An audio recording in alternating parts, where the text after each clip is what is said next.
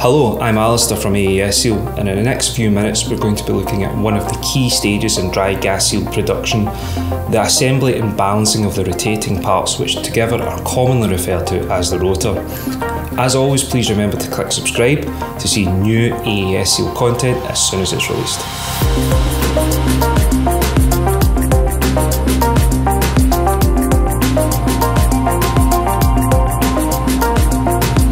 The rotor of the dry gas seal is essentially all of the components that rotate during operation.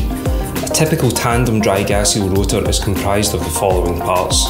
Main sleeve, inboard mating ring, spacer sleeve, outboard mating ring, retaining sleeve, secondary sealing and centering elements. The mating rings are laser grooved with the required hydrodynamic groove profile, then spin tested in a bespoke test rig.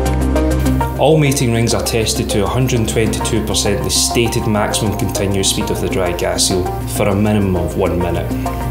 This test ensures that the mating rings retain integrity during operation. Before being installed in the main cartridge assembly, all rotating parts of the dry gas seal are assembled together. The rotor assembly is then secured to a test shaft and installed within the dry gas seal rotor balancing machine. The rotor assembly is operated dynamically and readings recorded that show areas of unbalance within the rotor. This information allows material to be removed from the rotor to achieve the required balance grade. All dry gas seal rotors at AESSEAL are balanced to the required ISO certification.